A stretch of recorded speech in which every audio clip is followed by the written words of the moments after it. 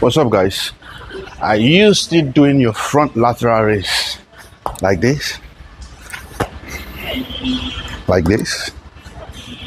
You come, you twist like this. What are you? What? What is this? What? What are you twisting? And I still see people sitting down doing it like that, like, like this. What are you? That is not front lateral raise. That is not how to do front lateral raise. You do it, or you can still go one and then one. Make sure you're not just doing this, doing this. That's not a front lateral raise, okay? So all my videos that I make, I'm not making it to make fun of anyone. So either you're a professional trainer or anything, uh, it doesn't matter. If you're doing it wrong, you're doing it wrong.